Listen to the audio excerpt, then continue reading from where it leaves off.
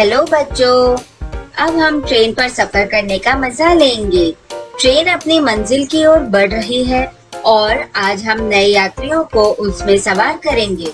Train अपनी मंजिल तक यात्रा करते करते हर इंसान की कहानी और सपने संजोती है।